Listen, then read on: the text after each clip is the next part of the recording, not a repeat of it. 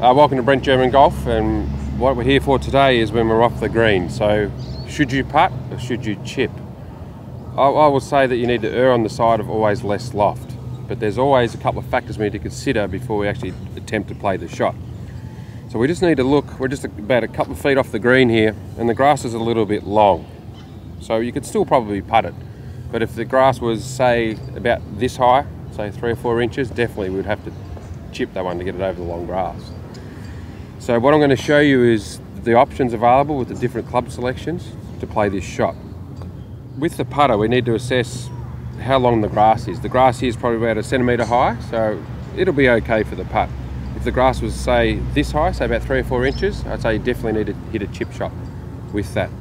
So with the putter, and this is what all the good players on tour do, get in your normal setting, position, just want the handle of the grip out in front of the ball there. As you can see, the shaft's on a, on a lean or an angle, and the grip's towards the target. And what this will do, apply a bit of a descending blow to the ball, and the ball will come out with top spin. So it won't really get that affected by this grass just off the green here. So I'm just going to do a putt for you to show you what it, it sort of looks like.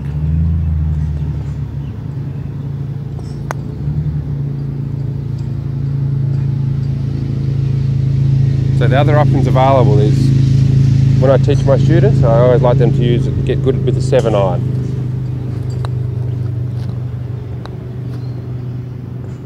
So I'll just get set up for that seven iron.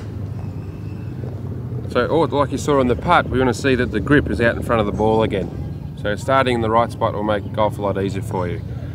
You can do the grip however which way you like. I prefer to hold it like I hold the putter. Just want to don't want any wrist action in, in uh, chipping, so this will eliminate the wrist action.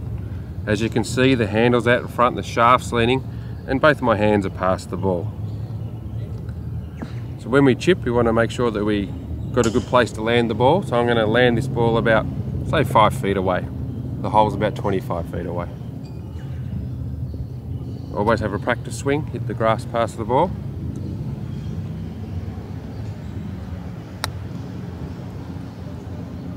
Hold the finish there. So another shot, especially if you're new to golf and you're just learning, if the putter doesn't work, maybe try a fairway wood. So either a five wood or a three or four hybrid. So I've got a uh, five wood here. And what we're going to do, we're just going to putt, putt with the hybrid. So set up similar to the way I had the putter before.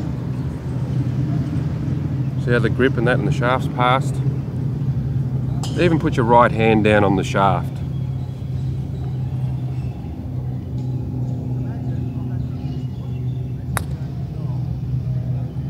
And what the ball will do, that came out with a lot of topspin this club. The ball still goes in the air and it still gets over this short, short grass here. So it's a really easy shot to play.